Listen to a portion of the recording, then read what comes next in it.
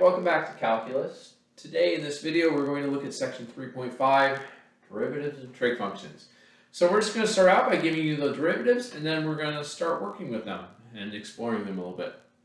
So here they are. All six of these are also in your book, but hey, here you go. The derivative of sine is equal to cosine. The derivative of cosine is equal to negative sine. The derivative of tangent is secant squared derivative of cotangent is negative cosecant squared. The derivative of secant is secant x tangent x, and the derivative of cosecant x is negative cosecant x cotangent x. Now, I do want to point out one more thing here.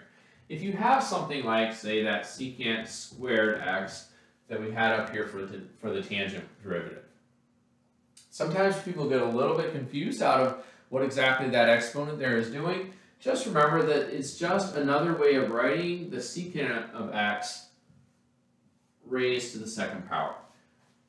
Okay, so this is just the standard form to write that expression. So all it is, is you would find the secant of whatever your x value was, and then you would square that answer. Um, and that's going to be really important a little bit later on, and when we get into the chain rule in section 6. So let's go ahead and start using some of these. The first thing that I want to do is I want to show that for numbers 3, 4, 5, and 6, you can actually come up with, the, with what the derivative is just by using these first two derivatives. And then all the rules that we had for derivatives back in section, I want to say 3. So we're going to actually derive the secant, the derivative of secant, and that'll be the next thing we do. So hang on. Okay, so I want to show that the derivative of secant really is secant times tangent. So I have it over here, and it's really not too bad. Uh, we're going to use the quotient rule. Um, so we start by saying, okay, we know that secant is really the same as 1 over cosine. And that's how this whole thing's going to work out. We switch it to 1 over cosine because we know the derivative of cosine, and we have a quotient rule. So I'm going to call the 1 on top u, which means du is 0. The cosine on the bottom is v, which makes dv negative sine x, and we're off and running. So I fill in the pieces into my quotient rule. The bottom piece, v cosine x times the derivative of the top, which is 0, minus 1, or sorry, minus the top piece times the derivative of the bottom. So being a little bit careful here, that means that the cosine x times 0, that drops out, and a minus 1 times negative sine gives us a positive sine. Oh, and it's all over cosine squared. So here we are, we're basically done. It's just it's going to take a little bit of rearranging to get it into the form that the derivative takes. So we have sine x over cosine squared x. So I, what I did is I broke up that cosine squared because I, I know I want a tangent. Tangent is sine over cosine. So I broke it up into sine over cosine times 1 over cosine. Notice those are the same thing, right? If we multiply these fractions, the cosines go back together just fine. And sure enough, sine over cosine is tangent. 1 over cosine is secant.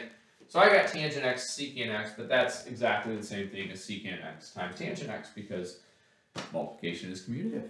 So there you go. That's, we just derived the derivative for secant.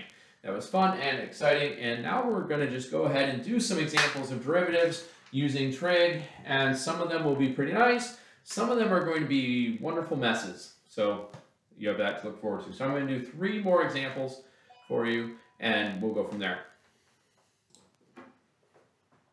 Okay, so here is example one. It's not too terribly huge or obnoxious, um, but I didn't have room on here for any more examples. So here's your first example. y is equal to 2 e to the x minus 3 sine x. So we have a lovely little, little function. A couple of things to notice here first. We have subtraction in the middle, and that's wonderful because it's going to allow us to take these two derivatives separately. Remember, addition and subtraction are basically always going to split up your derivative. And actually, they really will always split up your derivative, making your life much easier. So what I'm really doing here to find this derivative, I need the derivative of 2e to the x, and then minus the derivative of 3 sine x.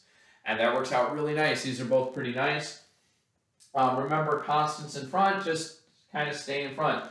So the derivative of e to the x is, is itself, so just get that 2 again, 2e to the x minus. Here, the derivative, I can talk, the derivative of sine is cosine, So I keep the 3, right? I could think of the 3 as being out front if you want. Derivative of sine is cosine, so we get minus 3 cosine x. There we go. That's the derivative. Let's do another one. The next one will definitely be messier. So here we go. All right, so here's my next example. We'll do this one and then we have one more. As you can see, this one took up a little bit more space, so lots of fun. My function, or my equation, y is equal to x squared e to the x cosine x. This time, no addition or subtraction. This is one big product rule. First thing we need to notice is that it really has three parts. We have the x squared, we have the e to the x, and we have the cosine of x. Three different parts, so we have this kind of souped up product rule that we have to work with. So I'm, I identified them as u, v, and w, and then I took their derivatives.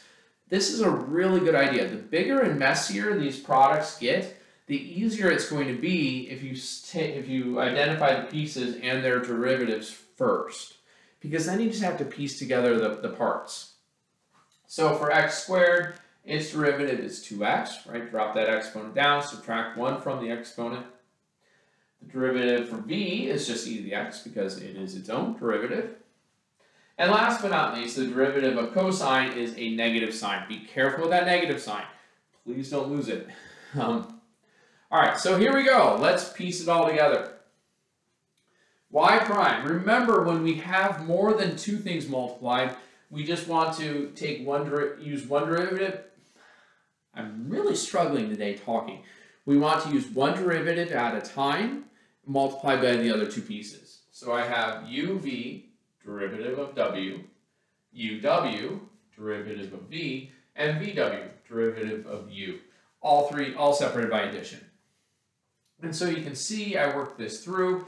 It's loads of fun. Be really careful. These get messy very, very fast. So I just first went through and just filled in the pieces just exactly like it, like they looked. So u, v, derivative of w. u, w, times the derivative, derivative of v, and vw times the derivative of u. Now, when we clean this up, a couple of things to look out for. This is not subtract sine x, so please, you know, when I put it in here, I use parentheses because I want to keep that multiplication. All I did was I dragged the negative sign out front because it looks nicer that way. So we have negative x squared e to the x times the sine of x. For the second piece, I like to have these trig functions at the end. I really think it's just a little bit nicer that way. So since it's all multiplication, I just rearranged it a little bit and brought the e to the x out in front. So we have x squared e to the x cosine x.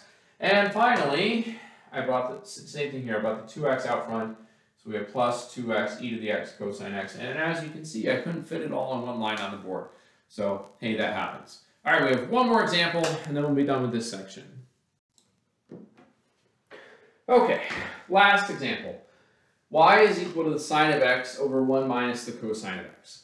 The derivative itself here is not too terribly horrible. Cleaning it up is really where the fun happens on this one. So again, I have a quotient rule here. On the last example, we had a product rule. And I'm going to take advantage of figuring out these pieces to help when I actually start putting together the derivative. So the top is u, so there's my sine x, its derivative is cosine x. The bottom is 1 minus cosine x, its derivative, the 1 goes away, right? The derivative of 1 is 0. And be really careful, the derivative of negative cosine is going to be a positive sine.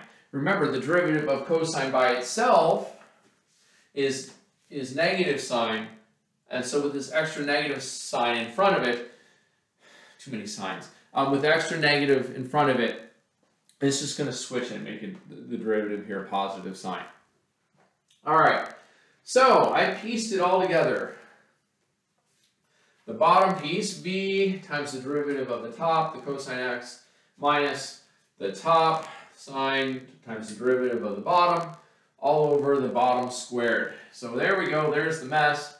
So I started by expanding the parentheses. So I get cosine x minus cosine squared x minus sine squared x.